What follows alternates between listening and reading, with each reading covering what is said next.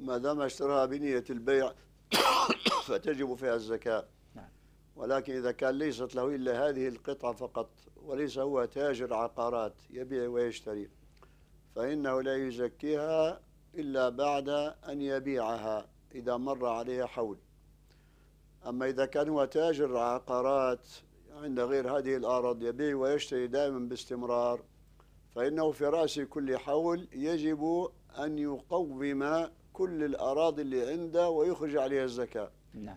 لكن كان ما عندهش إلا هذه القطعة فقط واشتراها بنية التجارة والبيع فلا يزكيها حتى يبيعها. طيب. إذا مر بعد مرور الحول